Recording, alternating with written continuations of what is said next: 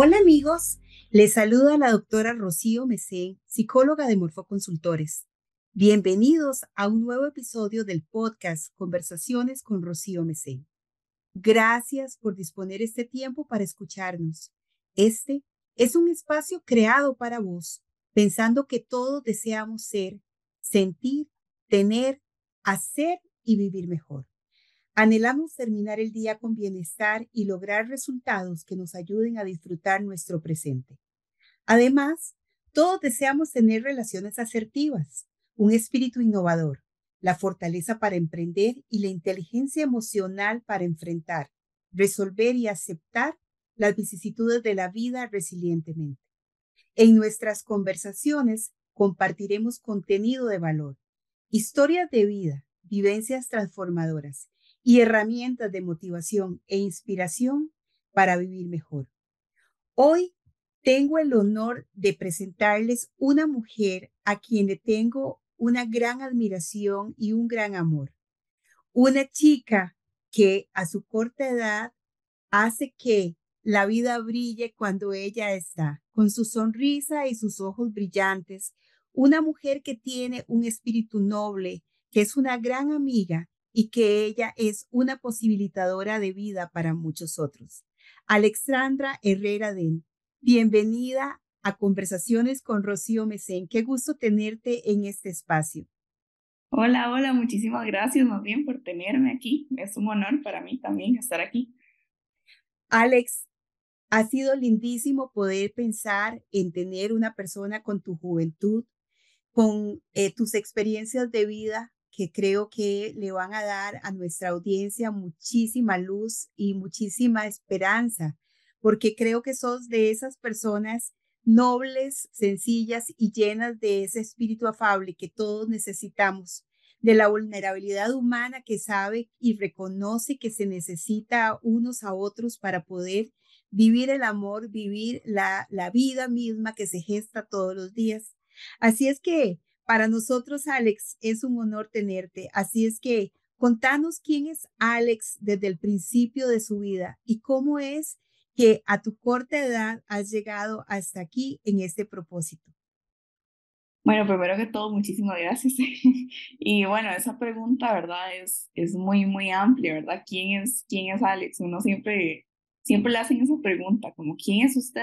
Cuando uno va a un trabajo nuevo o conoce a una persona nueva y uno no sabe cómo contestarla, porque hay como mil maneras de contestar esa pregunta, ¿verdad? Pero yo diría que, que la forma en la que yo me describo, le describo a la gente es, eh, soy una persona, me considero una persona altruista, este, que, que puede ser bueno o malo, ¿verdad? Que, que está pensando en los demás, que, que siempre está como haciendo cosas, ¿verdad?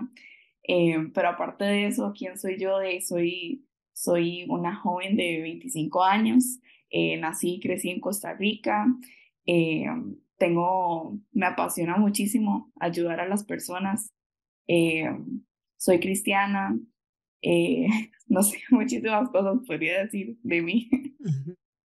Excelente, pero ante todo sos una mujer con unos objetivos lindísimos de vida. Eh, Alex estudió salud y ciencias humanas eh, con especialidad en terapia ocupacional y está todos los días eh, poniendo en su corazón ese objetivo. Así es que, Alex, contanos un poco cómo es el principio de tu vida. Bueno, yo, este, mm, como mencionaba, nací aquí en Costa Rica. Este, fui criada por mis dos papás. Este, mis papás sí se divorciaron cuando, cuando yo tenía cuatro años, entonces eh, me crió más mi mamá. Este, mm, y, y, tuve una, una dinámica de familia interesante porque la mitad de mi familia es gringa y la mitad de mi familia es tica, entonces siempre fue una combinación de culturas muy chiva. Este, um, y tuve muchas experiencias y muchas oportunidades gracias a, ese encuentro de culturas tan, tan interesante y tan chiva. Eh, decidí a muy cortada que me encantaba ayudar a la gente, me encanta eso, me apasiona muchísimo, me encanta servir, me encanta eh, poder ayudar a la gente a cumplir sus objetivos en el día a día, que eso es básicamente lo que es la terapia ocupacional, ¿verdad? Este, poder ayudar a la gente a tener esa independencia en su día a día, ya sea que tenga un impedimento físico o un, no sé, un, una discapacidad o, o, lo que fuera. Este, y entonces yo me dediqué a, a poder trabajar para cumplir ese objetivo, ¿verdad? Entonces, eh, decidí que, que, quería ir a, a, estudiar a Estados Unidos y tuve la oportunidad de poder eh, sacarme una beca y, poder estudiar. Entonces viví cinco años en Estados Unidos y eso fue súper chiva y ya estoy de vuelta aquí en Costa Rica. Qué bueno. Alex, voy a retomar una de las experiencias de vida que marca una gran diferencia. Eh, estamos hablando de que tenías cuatro años, eh, no habías terminado tu primera infancia cuando tus papás se divorcian. El divorcio es eh, una, una situación que aqueja a nuestra sociedad. En Costa Rica, grandes porcentajes de personas que tienen una vida donde pues como todos, cuando generalmente eh, decidimos tener una vida con otra persona, eh, tenemos una expectativa de qué será, ¿verdad? Y tenemos este, la dicha de tener hijos y lamentablemente la, la pareja se divorcia por razones diversas, pero vos que sos fruto de esa situación que tus padres tomaron como decisión, ¿cómo vivís hoy con 25 años ese, ese paso por, por todos estos años de infancia y adolescencia, donde hubo un quebranto de familia, pero logras decir, me criaron mis papás, más mi mamá, pero me criaron mis papás. Creo que es un eje súper importante para poder trabajar esta situación de vida que pasan tantas personas en nuestro país, tantos muchachos que han tenido esa situación y que de una u otra forma a veces no logran hacer un proceso de duelo adecuado para poder sobrellevar el divorcio de sus padres, o tal vez son los padres los que no hacen un duelo adecuado y resulta que los hijos se ven ensimismados por una situación donde tienen que literalmente estar en medio. ¿Cuál ha sido tu experiencia al respecto? Sí, claro, y, y, es muchísimo más común de lo que de lo que uno piensa realmente, como decís vos. Eh, y a cierto punto se ha vuelto o, o, es como tabú que la gente no habla de, del divorcio, ¿verdad? Y, y, de cómo uno vive con eso. Bueno, gracias a Dios, la verdad, mi mamá, eh, mi mamá es una persona sumamente fuerte, ella es, ella es increíble realmente. Eh, el divorcio que tuvieron mis papás, yo no me acuerdo muy bien porque era muy pequeña, eh, pero yo sí sé que le afectó mucho a mi hermano mayor.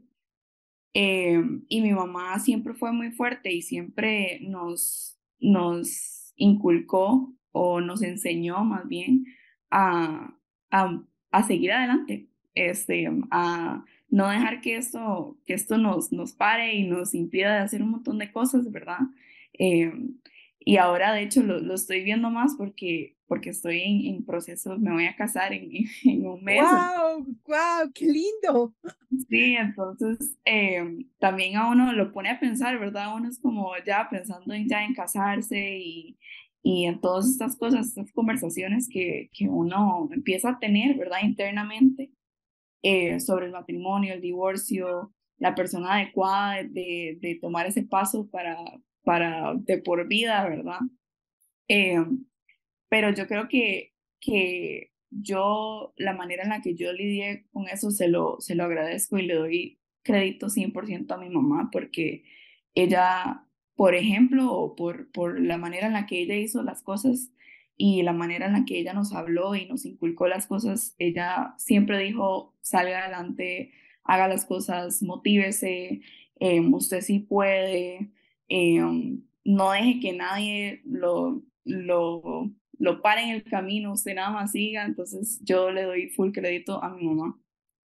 Bueno, excelente. Nada como tener siempre una persona que sea este nuestro nuestro bastón en el proceso y, y súper importante que eh, las mamás que nos están escuchando y que están pasando alguna situación como esta, Saquen las palabras adecuadas para poder llevar a sus hijos a decir, este es un proceso mío, usted siga adelante, ¿verdad? Y sí, hay dificultades que se dan en el camino y sentimientos encontrados en un momento dado porque pues no nos, no nos dije, nadie nos dijo que podíamos pasar por eso, ¿verdad? Y es una situación realmente complicada.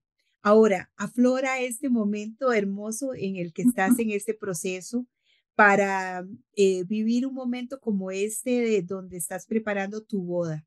Pero, ¿cómo es que llegas a esa conclusión de la persona adecuada, de poder compartir, de poder tomar una decisión este, para llegar aquí, porque la adolescencia como tal, ¿verdad? Este, siempre nos convoca a ese deseo eh, de, de, poder tener una persona amada, de, de compartir con ella y y muchos eh, adolescentes que han trabajado conmigo por años me dicen, yo juro que yo no voy a hacer lo mismo que hizo mi mamá o que hizo mi papá, ¿verdad?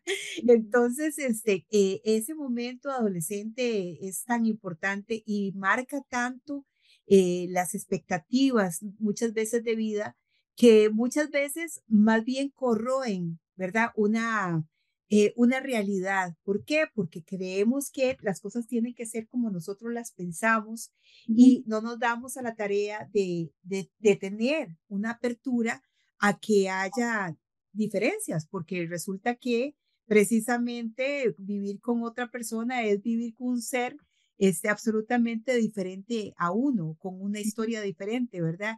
Alguien por ahí decía, es un viejillo de la calle que yo no conozco y no es nada mío, ¿verdad? Pero entonces, ¿cómo llegaste a esto? Porque antes de eso hubo todo un proceso de encuentro con una persona y demás, hasta aquí. Sí, de hecho fue un proceso un poco largo porque porque como uno viene, ¿verdad?, de, de, un, de una casa, como dirían, entre comillas, disfuncional, ¿eh? de papás, ¿verdad?, divorciados y todo, de muchas veces yo pensaba que el divorcio para mí era inevitable, era genético.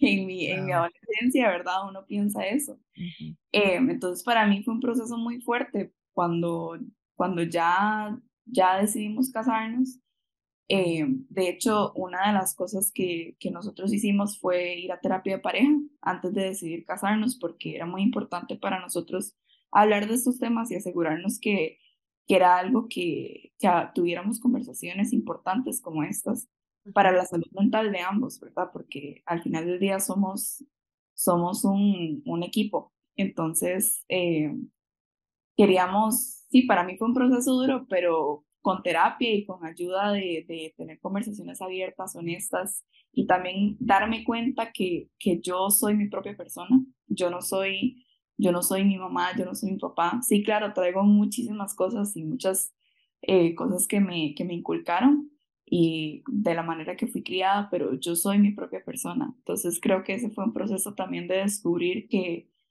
que que sí, que yo soy mi propia persona y que yo no, no voy a vivir las mismas experiencias de mis papás. Excelente, creo que nos das eh, un tip maravilloso. Eh, yo soy mi propia persona, es precisamente hacerme cargo de mí a pesar de mi historia. Mi historia está cargada de eso que dices que me inculcaron, de contenidos y de valores y principios pero además de experiencias de vida a veces que son hasta contrarias a lo que me inculcaron.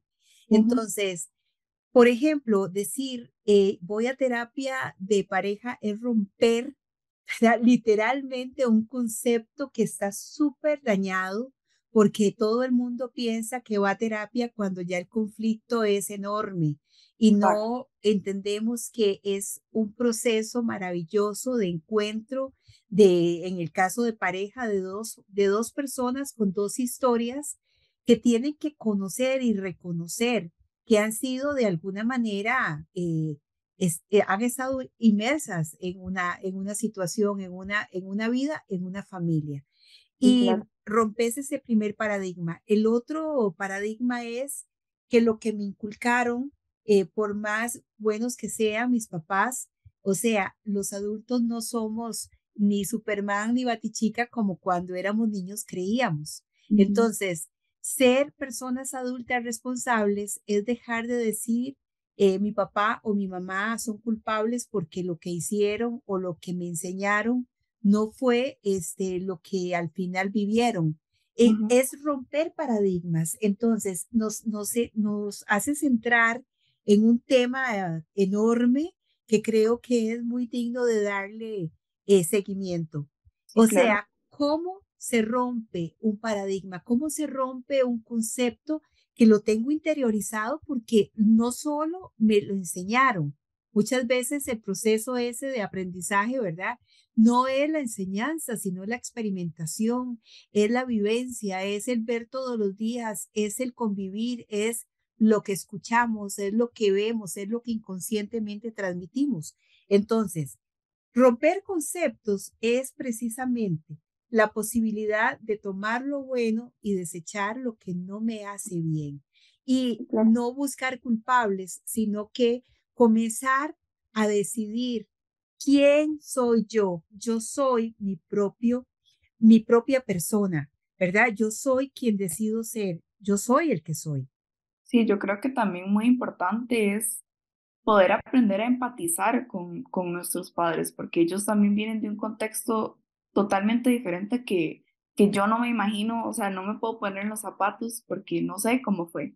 Entonces también las cosas que ellos traen vienen de generaciones atrás y como es, bueno, ahora es más común, pero antes era tan no común, ¿verdad? terapia y todo eso, entonces todo eso se, se, se arrastra y se lleva con uno. Entonces, como decís vos, es, es, es responsabilidad nuestra poder tomar lo que uno quiere y lo que uno no quiere y también empatizar y poner el contexto y decir, mira, es que, de es que seguro él pasó por esto, mi papá pasó por esto y esto y esto, mi mamá pasó por esto y esto y esto y por eso hace esto. Y, y voy a decir, mira, esto no me gusta y no quiero inculcárselo a mis hijos, entonces voy a trabajar en romper esta cadena. Y también entender que que es inevitable, digamos, cuando yo tengo una familia, es inevitable que yo le voy a inculcar cosas a mis hijos, porque no somos perfectos, ¿verdad? No, porque así es, así es, somos seres humanos, así es como funcionamos. O sea, todos somos el resultado de historias que de aún aquello que no sabemos. Entonces viene la posibilidad, Alex, de decirle a nuestra audiencia, qué importante que usted pregunte, ¿verdad? Que no nos quedemos con lo que suponemos, porque suponer precisamente es un proceso que nos lleva a cometer muchos errores. Suponemos lo, que, lo que creímos o lo que alguien nos dijo y resulta que eh, con el tiempo podemos hacer preguntas. Las preguntas, las dudas, siempre tienen que ser desde la perspectiva de la innovación, de la creación de nuevas fuentes para tener eh, todo ese contenido que me puede ayudar a crear un nuevo concepto que nos ayuda a gestionar nuestro ser. Entonces, esta posibilidad de, de, no solo preguntarte hacia lo interno, sino de poder decirle al otro si lo tenés este, cerca, mami, eh, ¿cómo fue que nací? ¿Verdad? Incluso hasta preguntar cosas que muchas veces se dan por un hecho y que, y que no las preguntamos porque simplemente son como, eh, ¿qué importa? ¿Verdad? O sea, ¿cómo fue que, que me concibieron? Este, ¿Qué estaba pasando en sus vidas? ¿Cómo era la situación histórico-social del país en ese momento? Este, ¿Cómo era su relación con, eh, no sé, con su suegra, eh, con su mamá? Y todo eso nos da muchísimo material para comenzar nosotros a tener historia que no nos pertenece, pero que es la percepción de aquella persona. Y la percepción de tu mamá es la que hace que eh, pueda dar contenido a tu vida después y te nombre de cierta manera y que todas sus formas se conviertan en contenido para decir, esta es Alex. Hasta que Alex dice, yo no soy lo que el otro dice, sino que yo soy lo que yo decido lo que yo rompo, lo que yo dejo, lo que yo quiero y hacia dónde voy, porque vivimos en un proceso de transformación permanente, no, no somos seres acabados, no es que nacemos y ahí tenemos el contenido, ¿verdad? Como si estuviéramos este, echando historia en un frasco. Ya, como vos lo dijiste, y me parece maravilloso recordarlo, somos realmente historia.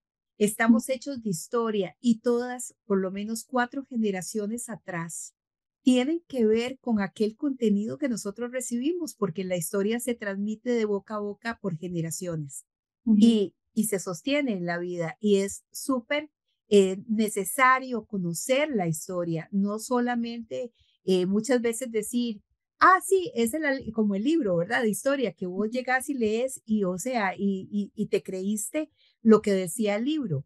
¿Por qué no poder este, eh, interrogaros a sus autores? Porque quizá lo que está escrito es lo dicho en algún momento temporal, pero tal vez tiene mucho más contenido que nos puede ayudar a, a, salvar muchos, muchas de las cosas que aprendimos o tal vez a romper. Sí, claro. Y no es, un, no es un proceso fácil, porque ahora me preguntabas cómo hace uno para romper esos vínculos y esas cosas.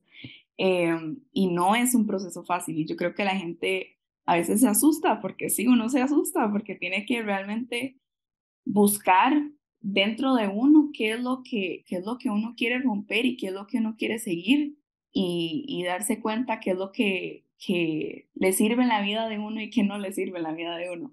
Eh, como todos somos diferentes, a todos nos sirven cosas diferentes. Entonces, no es un proceso fácil, es un proceso difícil que toma tiempo, eh, toma toda una eternidad realmente porque nunca vamos a llegar a un, a un, punto de perfección Siempre somos seres que, que podemos mejorar en cualquier aspecto y ámbito de nuestras vidas. Eh, pero el primer paso es reconocer que uno siempre puede cambiar y uno siempre puede seguir motivándose para ser la mejor versión de uno mismo. Así es, definitivamente esa es la primera empresa y nuestra gran obra de arte, trabajar en nosotros eh, con el pincel constante donde muchas veces Necesitamos incluso decir, esta es la base, pero yo puedo modificar, ¿verdad? Puedo transformar, puedo, el cuadro puede cambiar radicalmente con una pincelada de algo que, que sugiere una nueva, una nueva forma de ser. Y es eh, también importante mencionar lo siguiente. Cuando hablamos de que las personas que son significativas en nuestra vida, nuestros padres, personas que tienen un lugar que nosotros le hemos dado, eh, han, han sido colaboradores en la construcción de nuestro contenido, de nuestros conceptos, y, y nos encontramos con que, mira, esto es un concepto errado para mí por estas razones. Quiero decir, no le estamos quitando privilegio, ni amor, ni cariño, ni admiración a la persona. Solamente estamos entendiendo que aprendimos mal un concepto. Porque muchas personas, Alex, podrían decir, pero es que me lo enseñó mi mamá y yo a ella la adoro. O sea, yo, o sea, yo quisiera que mi mamá jamás se muriera porque ella es la más sabia del mundo. Sigue siendo, sigue siendo sabia, sigue siendo una persona posibilitadora. Además, es la dadora de vida. Entonces, no estamos hablando de romper con las personas, sino con los conceptos que no, eh, que no son afines a mi persona, que no son los que yo debo seguir y que no deseo en mi vida, porque simple y sencillamente han hecho un daño muchas veces en mi propia historia, en mi estima, eh, y eso es sumamente importante aclararlo. No estamos peleando con personas, no nos estamos dividiendo de aquella persona que es este, nuestra progenitora o nuestro progenitor. Estamos simplemente separándonos de un contenido que no es afín para yo poder ser mi propia persona. Y claro que no va con el contexto sociohistórico que hablabas vos, ¿verdad? De este momento que uno está viviendo, porque, porque el momento que nuestros padres vivieron es muy diferente. Eh, y, y como mencionaba, es por eso es importante, o para mí me parece tan importante empatizar con, con generaciones atrás y también con generaciones que vienen eh, para poder entenderlos de su, de su perspectiva y también que ellos empaticen con uno, porque y el respeto también es muy importante. Eh, para poder decir como, mira, yo crecí así, este fue mi contexto y así, y que y uno nada más simplemente es, mira, eso no funciona en mi vida, pero muchas gracias por compartir, me gusta tu perspectiva, etcétera, etcétera. Y son muchas las personas significativas de la vida. Definitivamente en, en el momento, especialmente en la niñez, eh, nosotros no encontramos más que las personas que son nuestros padres y abuelos, que por cierto creo que tenés este, una gran fortuna de tener una relación maravillosa. Y, y, qué tan importante ha sido para vos que esas personas significativas sigan siendo eh, como parte de tu vida y que sigan siendo fuente de sabiduría. Sí, soy súper unida con mis abuelos, realmente. Entonces, encontramos que más allá de, de abuelito, abuelita, tito, ¿verdad? Este, encontramos tesoros de vida. Y tesoro de vida lo tiene cada persona, precisamente por eso el para qué de este programa, porque cada persona tiene una historia y esa historia precisamente se ve cargada de cosas que otros de alguna manera se identifican también. Entonces, esa unidad con tus abuelos, ¿qué te ha provisto en, en la vida cotidiana? Bueno, a mí realmente la, bueno, yo vivo con mis abuelos ahorita, entonces para mí ha sido una gran oportunidad ver y, tener esa relación con mis abuelos que ahora es tan diferente a como era cuando yo era chiquitita, ¿verdad? Porque es, ahora es una, una relación muchísimo más significativa para mí. Eh, realmente he aprendido muchísimo de ellos y, y me encanta poder sentarme a hablar con ellos y escuchar la perspectiva de ellos en diferentes temas, en diferentes cosas que está pasando en el mundo, eh, tener conversaciones abiertas que tal vez pueden ser incómodas, ¿verdad? Pero que sean honestas y abiertas de temas que tal vez son, eran tabú para ellos y en estos momentos y en estos días no son tan tabú. Eh, entonces realmente agrega mucho valor a mi, a mi vida, a mi día a día, porque porque me, me lleno de perspectivas diferentes, me lleno de, de conocimientos que ellos tienen que, que, me pueden dar muchísimo conocimiento de todos los años que han vivido, ¿verdad? Em, historias familiares también que son muy importantes para mí. Eh, muchísimas cosas, agregan mucho valor a mi vida, realmente. Y cuando nos dices que ellos tenían temas tabú en algún momento y hoy no los tienen, es el valor que vos has agregado a la vida de ellos porque es lo que nos da la, la, vida, la oportunidad del proceso de cambio, sin importar cuánta sabiduría, cuántas experiencias tenemos. El, la convivencia con los jóvenes nos da ese otro tesoro, que es poder atraer a nuestra vida la novedad, la innovación, la creatividad. Y eso eh, se, los, se los puedo sugerir como un espacio de vida. Si usted tiene eh, a sus abuelos, por favor, acérquese a ellos, ámelos, pero sobre todo escuche. Muchas veces tenemos eso, esas eh, eh, visitas, ¿verdad? De, de como del domingo tenemos que ir a almorzar a la casa de los abuelos. ¿sí?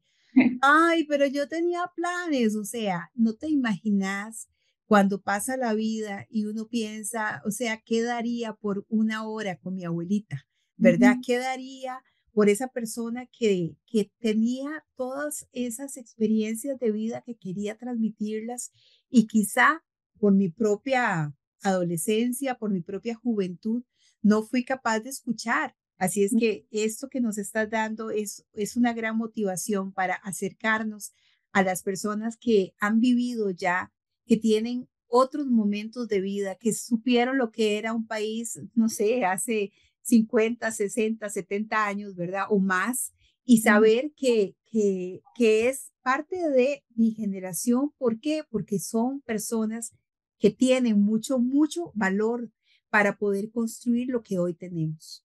Alex, quisiera enfatizar en algo más. Terapia ocupacional. Vos dijiste, elegí mi carrera porque ese es todo un tema, ¿verdad? Para la juventud.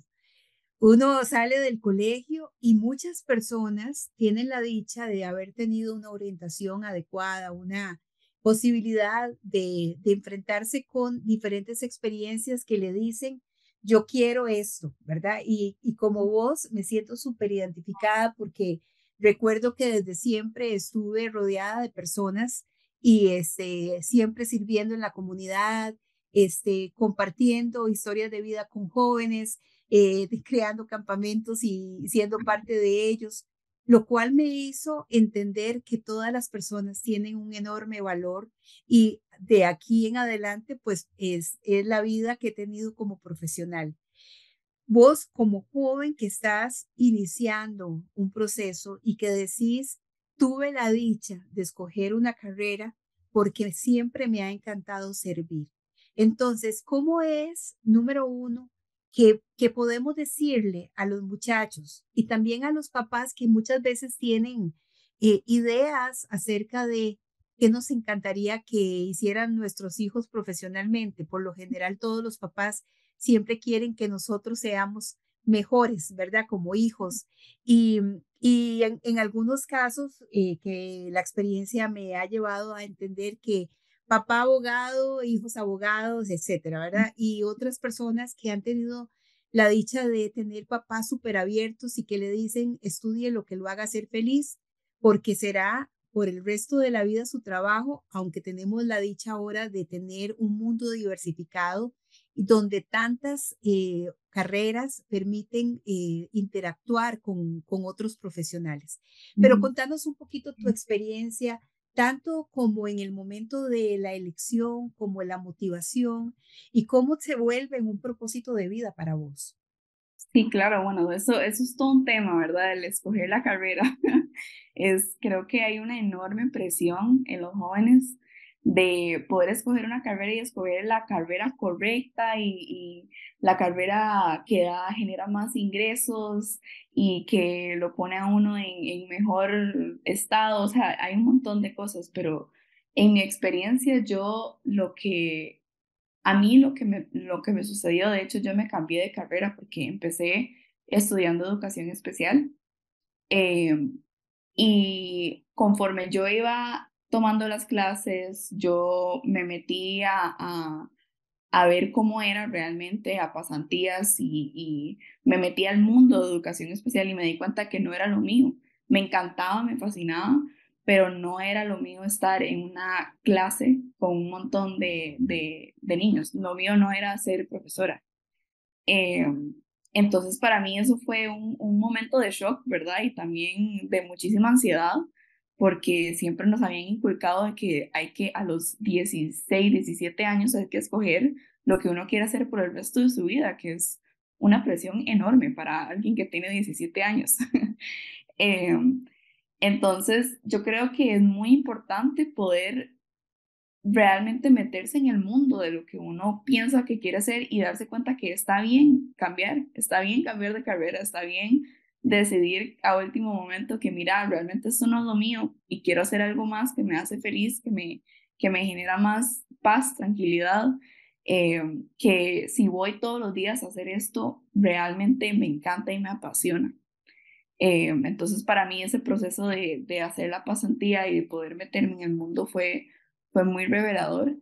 Y yo ahí decidí que me encantaba trabajar con, con gente, me encantaba mucho tomé clases de diferentes áreas para ver qué es lo que me gustaba. Me gustaba mucho la parte de, de rehabilitación física, me gustaba la parte de psicología, entonces, y fui encontrando terapia ocupacional, que, que era una combinación casi de todo, de medicina, tomé clases de anatomía, que fue muy chiva también, em, y, y realmente hice clic y, y, me apasionó mucho, pero sí tuve una, una, una voz interna en ese proceso y tuve una, una ansiedad constante de decir, uy, me equivoqué, no tomé la decisión correcta, voy a durar más en mi carrera, eh, qué madre, y va, qué van a pensar los demás, mi familia y todo eso. Entonces creo que, que hay que quitarse ese chip de encima y realmente estar en paz y tranquilos con uno mismo, con ese proceso que uno lleva para realmente descubrir qué es lo que uno quiere hacer por el resto de su vida. Alex, una presión enorme. Definitivamente, los chicos eh, 16, 17, 18 años, quienes están haciendo bachillerato internacional o que por alguna razón eh, están saliendo un poco más tarde. Esa presión es enorme porque socialmente hay algo impuesto, porque eh, pues entras y, y, de una vez te dicen a partir de décimo año, todo cuenta para, todas sus notas cuentan para la universidad y bueno, de ahí en adelante, ¿verdad? Se convierte en como en un, en un goteo este, permanente que te dice esto que estás haciendo, pero además esa misma persona que está viviendo la gran presión por la vida, eh, por lo que tiene que elegir para su vida, es un adolescente que tiene otras presiones, que tiene que tiene todo un mundo. Hablemos un poco de ese momento, Alex, de, de cómo es que, que, que se enfoca, ¿verdad? La vida en casi como en esto es para el resto de su vida, ¿verdad? Y esa, esa frase se usa para todo, ¿verdad? Como por ejemplo, para que la persona que vas a elegir para el resto de tu vida, eh, la carrera que vas a elegir para el resto de tu vida, si tienes un hijo, para el resto de tu vida. O sea, ¿Cómo es que una persona que ni siquiera ha terminado de constituir su, su proceso, ¿verdad? Porque como adolescente está en ese cambio, ¿verdad? Que es cambio casi que de, casi que de hora a hora, ¿verdad? Este, muchas personas dirían, este, hoy piensa una cosa y a los cinco minutos me dice otra, este, este, estaba súper feliz y ahora llora, ¿verdad? En un cuarto porque, porque tiene, pero además tiene una vida social, ¿verdad? Quienes la logran, porque también tenemos otras personas súper aisladas que no logran tener un grupo de amigos que se sienten totalmente fuera de contexto. También tenemos otros adolescentes que son, como yo digo, almas viejas, ¿verdad? Que dicen, no, no, no, no entro en esto, o sea, este, yo debía haber nacido hace 10 años porque tengo un pensamiento. También tenemos otros adolescentes que, que sienten que, o sea, que son demasiado niños todavía y que con 14, 15, 16 años no pueden tomar una decisión si no le preguntan a alguien, ¿y usted qué haría? ¿Verdad? Y en, muchos, en muchas ocasiones a personas, eh, no sé, sus padres significativas o incluso personas adultas que de alguna manera se han convertido en mentores de vida. Pero por lo general es al compañero que está pasando exactamente lo mismo, ¿verdad? Que en el, en el grupo de pares y en el grupo de iguales, este, comunico todo lo que no comunico en otro lugar.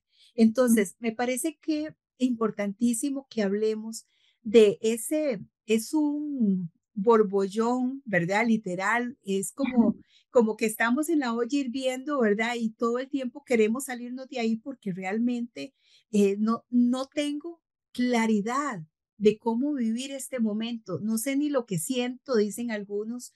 Este, usted me dice, pero ¿qué siente? Nada, nada, no siento nada, ¿verdad? Y, o sea, y porque no lo puedo expresar y lo expreso de diferentes maneras y se convierte en, ay, este muchacho, ¿verdad? Tan difícil. Este, algunos amigos que en algún momento decían, sí, es que son aborrecentes, ¿verdad? Este, y, y la diferencia de vivirlo desde ese lugar de la juventud. Sí, yo creo que, que como mencionaba, es, es importante que quitemos esa presión de tener que decidir, porque no hay que decidir, no hay, no hay, no hay prisa, eh, realmente, o sea, no debería de haber prisa. Este, creo que hay que, que abrazar y hay que estar bien con ese proceso y ese, ese proceso de decisión. Eh, está bien tomarse su tiempo, está bien sentirse, no saber qué sentir, porque es, es una etapa de vida que ya uno está pasando por muchísimas cosas. Eh, hay demasiadas hormonas de por medio, demasiadas cosas y, y, y realmente creo que la sociedad se ha vuelto que no solo nos hemos puesto presión a nosotros mismos, ponemos presión a, a nuestros compañeros también al decir, ah, mira, yo ya sé, yo ya escogí, eh, o este, tenés que apurarle, entonces también como quitarle ese, esa, esa presión, no sé cómo decirlo, quitar, quitar eso y, y realmente empatizar con, con uno mismo y realmente sentir lo que uno siente y eso está bien. Al fin y al cabo, todos pasamos por ahí, ¿verdad? Los, los, que somos adultos, muchas veces se nos olvida lo que fue nuestra propia adolescencia. O peor, ¿verdad? Eh, quienes dicen, si yo hubiera dicho eso, mi mamá me hubiera, ¿verdad? me hubiera golpeado, me hubiera matado, ¿verdad? Mis papás me hubieran hecho y usted se da eh, la libertad de decir las cosas. Créame, es necesario tener la palabra libre para poder decir, ojalá en la forma más asertiva posible, porque también somos personas los adultos y también tenemos eh, muchos deseos de que las cosas sean muy bien para los más jóvenes. Pero creo que el tema es la expectativa que nos hacemos de los hijos, de, de, de, de, yo como mamá, de yo como papá, que, o sea, estoy fallando también porque resulta que esta persona no se decide.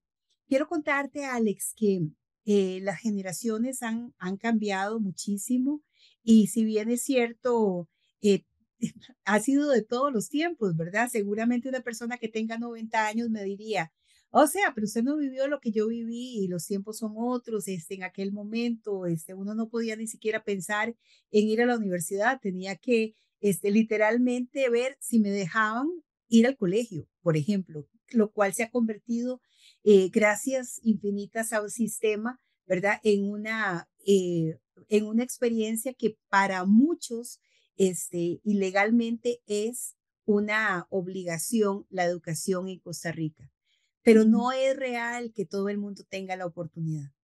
Entonces, es, es vivir esa experiencia, eso que decís, quitar esa presión, es una línea de vida que te puedo decir que 50 años atrás, eh, muchas veces yo lo veía como una línea simplemente eh, plana, ¿verdad? Donde uno nace, va a la escuela, este, va al colegio, va a la universidad en mi caso, este, y cuando salir de ahí, o sea, tenés que tener todo listo, porque, o sea, lo que sigue es que tenés que este, casarte y tener una familia, y etcétera. Entonces, eh, esa, esa linealidad social por muchos años se ha sostenido y por muchos eh, tiempos todavía es la línea en la que vivimos. Pero em, hay muchas experiencias de vida novedosas que hace de este momento algo totalmente diferente. Muchos chicos que tienen grandes talentos, eh, que han sido eh, hasta educados para, por ejemplo, ser un pianista o una persona que, como vos, que sos súper genial en la cocina, ¿verdad? Este, que han tenido oportunidades de tener otras eh, formas de vida que pudiste haber dicho, bueno, me dedico a este, alguna de esas genialidades que sos capaz por tu talento. Es necesario entender y pandemia nos, nos llenó de muchas oportunidades y surgieron muchos emprendedores jóvenes. Me parece increíble saber que muchos chicos de 14 años que sus papás perdieron los trabajos por pandemia, eh, fueron el sostén porque hacían brownies, porque hacían galletas, porque estaban este, de alguna manera eh, enseñando a dibujar, porque tenían un talento que ya tienen desarrollado. Entonces, es importantísimo entender que esta persona que se llama adolescente es un ser integral y que podría y que sería maravilloso si los jóvenes logran entender que todo eso que está a su haber, que es un talento, que tal vez eh, para en algún momento fue un pasatiempo, este, y que hoy se puede convertir en su modo de vida y que no implica que porque estés dando clases de cocina vas a dejar tus sueños. Que porque, que porque hoy estás trabajando, este, no sé, con una tía que tiene una panadería, eh, no significa que no puedes seguir adelante en la búsqueda de lo que fue una vez una presión y no pude seguir. Entonces, mi sugerencia para la audiencia es, nunca dejes tus sueños. Y si tus sueños ya hoy no los ves, tienes que construir nuevas oportunidades, nuevos sueños, nuevos objetivos de vida. No se acaba la vida porque hoy eh, porque la situación económica fue terrible y me consta con estudiantes en la carrera de educación que hace muchos años compartí, que me decían, o sea, mi sueño era hacer odontología, pero resulta que la carrera demasiado cara. Entonces me pasé a medicina, pero resulta que era igual de cara. Y entonces resulta que terminé estudiando educación. Y o sea, lo que hablas de abrazar lo que verdaderamente deseo, no se puede acabar nunca. Siempre cuento la experiencia de alguien que era una profesora de educación primaria que cuando terminó eh, su trabajo y se pensionó, entró a la Universidad de Costa Rica a estudiar derecho, porque esa era su pasión, porque ese era su deseo. Y ella dijo, yo no quiero dejar de vivir sin haber cumplido mi sueño. Y lo logró y con honores. Entonces, son experiencias de vida que nos hacen eh, entender que la vida no es un día, que la vida son muchos días y que muchas veces estamos en los más bajos de los días cuando sentimos como que todo está perdido, pero que es necesario pensar que lo que hoy estoy viviendo es temporal y que puedo tener el mejor día de mi vida y que no puedo vivir en la expectativa de vivir solo en los altos, porque resulta que nadie puede vivir en el Everest toda la vida, tiene que bajar de ahí y seguir adelante con otras, otras oportunidades y otros sueños. Bueno, y uno también aprende de todas las oportunidades que, que se le dan, ¿verdad? Eso yo siempre he sido fiel creyente, aunque yo en mi meta de futuro es ser terapeuta ocupacional y, y, no lo estoy haciendo en este momento, estoy aprendiendo muchísimo en mi trabajo, eh, de cosas que realmente yo no pensé que podía aprender. Entonces también agarrar las oportunidades que uno tiene y agarrar las, las cosas que uno está haciendo día a día y, y sacarle el jugo, sacarle el provecho y, y, aprender de esas cosas porque hay demasiado que aprender. definitivamente, Alex. Y da, da la posibilidad de diversificar y de decir, eh, hoy, hoy terminas un bachillerato con grandes honores y, y sabes, y no tener la expectativa de que se me abrió una puerta inmediata, pero seguir trabajando por eso, porque las oportunidades no solo se dan, se construyen. Y muchas veces eh, las redes de amigos me son la posibilidad de ir encaminándome hacia esa meta. Háblame un poco de esa importancia de tener un grupo de amigos, de un grupo de personas con quien comparto, con quien me abro, con quien digo, ¿verdad? Que aparte de la persona a la que amo y puedo compartir con ella, pero también la importancia de los amigos en un tiempo como este, con tu edad, con 25 años. Sí, claro, el grupo de amigos es esencial, súper importante, porque de ahí se vuelven a cierto punto la, la roca de uno, el soporte que uno necesita a veces, porque, porque a veces uno necesita nada más desahogarse o ir a, no sé, a jugar eh, juego de mesa o hacer lo que sea que uno necesita hacer para, para salir de su rutina, tal vez que, que pueda ser un poco agotadora al día a día. Em, y es importante buscar a esas personas que realmente a mí me gusta mucho esta frase que no me acuerdo cómo, se llamaba, creo que es Mariana, es una psicóloga, que es buscar a las personas vitamina de uno. Eh, realmente buscar a las personas que lo llenan a uno y que, y que le aportan esa vitamina, esa energía, ese amor a uno que uno necesita todos los días. Eh, y yo, yo considero que yo soy muy selectiva con mis amigos. Este, prefiero tener tres amigos que son muy buenos amigos a tener 50, ¿verdad? Que, que entonces, eh, para mí yo valoro mucho a mis amigos y valoro mucho el, el tiempo que paso con ellos. Me parece que, que, es muy importante. Y también como todo el mundo es diferente. Eh, hay personas que, que son menos, que no salen tanto, que no les gusta estar con amigos tanto, pero siento que igual siempre hay que tener un grupito o algunas personas eh, para, para hacer esas personas vitaminas, para hacer ese soporte que uno necesita de vez en cuando. Bueno, y me consta que vos sos de esas mujeres vitamina, de esas personas amigas vitamina para muchos. precisamente es, es, es tu, tu propósito de vida poder siempre estar ayudando a otros y poder compartir esa, esa forma tan motivacional que tenés y me parece lindísimo. Pero resulta que para tener un amigo hay que mostrarse amigo. Y el primer amigo que tenemos que tener es soy yo mismo. Yo no puedo vivir mi vida enojado conmigo. Yo no puedo vivir mi vida diciendo todo lo negativo acerca de mí y nunca darme cuenta de todo lo que realmente tengo. Y si hay personas que se han deteriorado por su propia forma de ver su estima, su concepto de sí mismos, necesitan hacer un trabajo consigo mismos. Cuando logran eso, entonces es como que si un mundo de oportunidades se abre, porque ya no tengo miedo de exponerme, que es todo un tema para los jóvenes.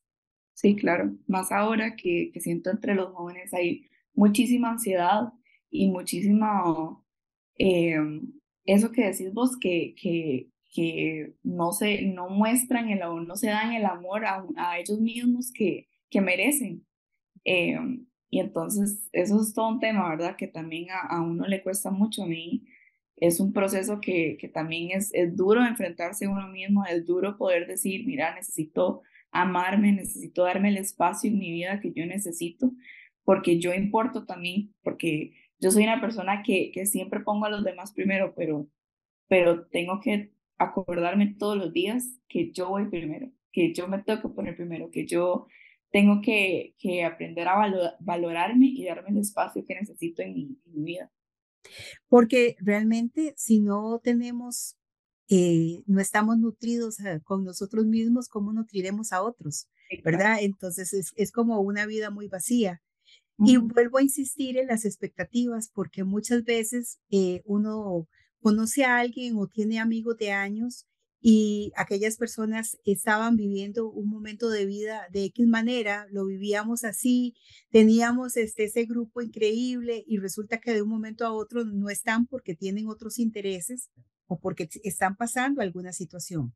Entonces, ¿cómo la expectativa nos hace tanto daño? Porque a final de cuentas estamos esperando que el otro siempre sea igual. O sea, pero qué increíble, ¿verdad? Porque somos seres de cambio permanente. Entonces, poder tener esa claridad de que yo estoy en proceso de cambio implica también que yo tenga la responsabilidad muchas veces de comunicarle a las personas que amamos ese cambio que estamos viviendo. ¿Cómo ha sido ese momento para vos? ¿Cómo ha sido para vos decir, eh, yo antes me, comportaba de tal manera o hacía tales cosas o esperaba tales cosas de mis amigos y hoy por hoy este, disfruto de la vida de otra manera. ¿Cómo lo comunicas a ellos para poder mantener ese, no sé, esa coinonía con ellos? Buena pregunta. es una pregunta muy extensa, pero em, yo creo que, bueno, para mí mi proceso este, ha sido de varios años ya y gracias a Dios yo siento que he mejorado muchísimo. Yo antes era una persona que, que era súper indirecta, que no, no decía las cosas, me tragaba todo eh, y realmente no, no tenía, no me daba el valor ni la posición en mi vida que yo merecía. Eh, y hoy en día yo puedo decir que, que gracias a Dios yo puedo, puedo decir qué es lo que necesito, eh, decirle a mis amigos qué es lo que necesito de ellos Em, qué es lo que necesito en momentos que tal vez tengo mucho estrés o tengo mucho, mucha ansiedad, mucho cansancio. Em, poner límites, que es muy importante, que siento que se ha vuelto algo que o, o antes no era tan común, pero es tan importante poner límites con, con cualquier persona, con uno mismo, con, con nuestros familiares, con nuestros amigos, poner límites para, para cuidar nuestra salud mental y cuidar nuestro, nuestra toda nuestra salud en general. este, y yo creo que mi proceso em, empezó o, o, se dio porque pude ir a terapia y pude realmente descubrir maneras en las que, que yo podía desahogarme. Entonces, digamos, ahora escribo, ahora dibujo, tengo un, un, este, un librito en donde literalmente pongo todo, todos mis pensamientos negativos, todos mis pensamientos positivos. Yo lo llamo mi, mi libro de la vida porque pongo fotos, pongo eh, poemas o si quiero, no sé, poner lo que sea, lo pongo todo ahí porque realmente es una manera en la que uno libera lo que tiene dentro y no se traga las cosas, ¿verdad? Entonces, creo que es importante buscar la manera en que uno libera su, su estrés, libera sus emociones y no, no dejárselas adentro. Definitivamente las emociones tienen que convertirse en herramientas y en un aliado permanente y no permitir que aquellas emociones que de alguna manera nos tragan la vida y se convierten como en nuestros amos. Y, y es todo un proceso de aprendizaje definitivo, es un proceso de cambio porque estábamos acostumbrados a, a simplemente decir, eh, es que quiero llorar o simplemente lloro o resulta que de un momento a otro soy súper efusivo y entonces soy efusivo y nadie entiende por qué, ¿verdad? Porque no decir, eh, no apalabrar, no poner en un libro, no poner en un dibujo, me, quita la posibilidad de poner afuera, como vos decís. Es que hay que poner afuera para poder vivir un adentro con mucha paz. Es poder, sobre todas las cosas, entender que la paz no es negociable y que, o sea, tengo que saber que la paz no me la da nadie afuera. Es un proceso interno y que tiene que ver con un proceso de espiritualidad. Y ese es eh, otro tema que dijiste, gracias a Dios, este, por, por esto que he podido lograr. ¿Cómo es el proceso de espiritualidad de Alex eh, en, a través del tiempo? Bueno, mi proceso de espiritualidad ha sido muy amplio, realmente es un tema que me, que me apasiona muchísimo. Yo fui criada este, en la iglesia católica este, y siempre, siempre fue como ir a misa los domingos, pero nunca tenía esa cercanía con Dios. Este, nunca, nunca supe que yo podía tener una relación con Dios hasta, yo diría que hasta los 17 años, 18 tal vez, donde realmente yo me aventuré y yo este, exploré por mi propia cuenta eh, lo que significaba la espiritualidad para mí, en vez de simplemente eh, tener o todo lo que, lo que, lo que, con lo que me criaron, ¿verdad? Este, entonces yo creo que ese proceso también de espiritualidad y descubrir y aventurarse eh, en lo que realmente uno cree y realmente lo que uno quiere o, investigar es muy importante porque es, es cuestionarse, es, es ir a, a, diferentes iglesias, es ir a ver tal vez si qué es lo que uno cree, qué es lo que uno no cree. Este, esa parte de cuestionarse es muy importante para mí, yo creo que eso es lo que más me ayudó.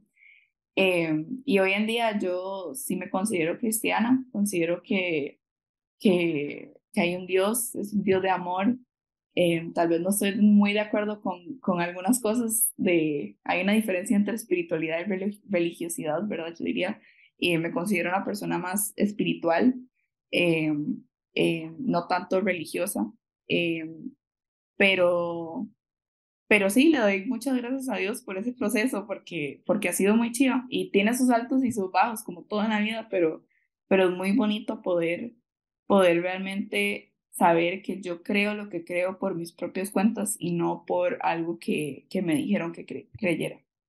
Por supuesto. Entonces nos hablas de espiritualidad como un proceso de encuentro propio, no una imposición.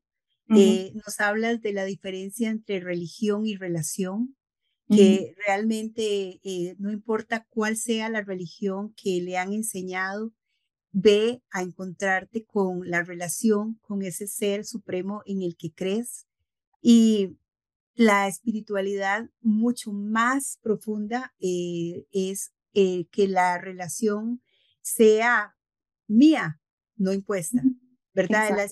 E, en una espiritualidad donde comienza a ser eh, transmitida y compartida con otros a partir de mi relación con el Dios que encuentro para mí y las, las relaciones con los otros vuelven esa, esa línea espiritual mucho más amplia, compartir con personas que, como dices, que son vitamina, ¿verdad? Que, que son personas que de una u otra forma tienen también eh, su proceso de relación y que quizá diferente al tuyo, pero que resultan eh, muy agradables para el crecimiento de ambos, ¿verdad? Porque no se trata de tener amigos porque me dan, sino porque nos damos mutuamente.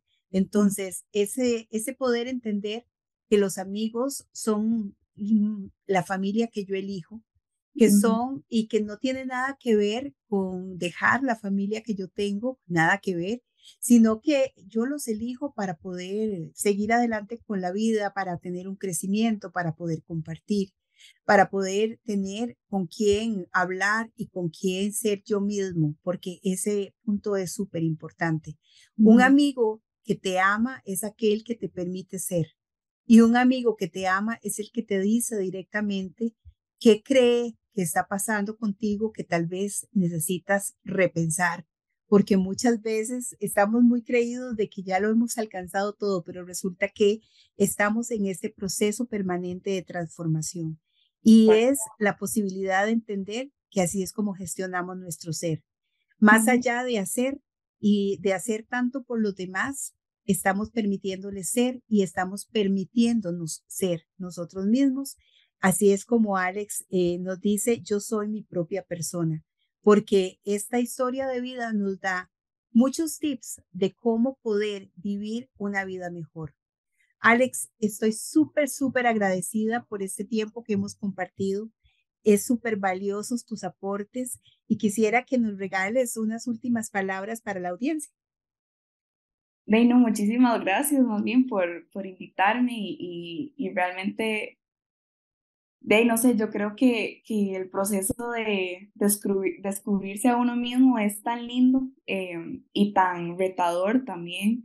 Entonces yo le diría a, las personas que están escuchando esto que, que, que se lancen, que es un proceso un poco, puede ser oscuro, puede ser difícil, puede ser retador, a veces puede ser solitario y puede ser triste, pero vale la pena porque realmente eh, uno es su propia persona y, y, uno merece el espacio y el valor en la vida de uno. Este, entonces, eso es lo que le diría a las demás personas, que, que no tengan miedo y que, que el primer paso siempre es eh, lanzarse.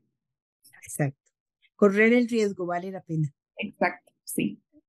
Alex, gracias. Te deseo lo mejor en los próximos días, eh, que tu boda sea maravillosa, que tengas un gran proceso de vida y que puedas seguir dándote de la manera que te das a muchos.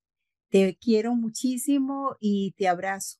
Y a ustedes, amigos, les doy las gracias por estar con nosotros hasta el final de este episodio con Alex y conmigo.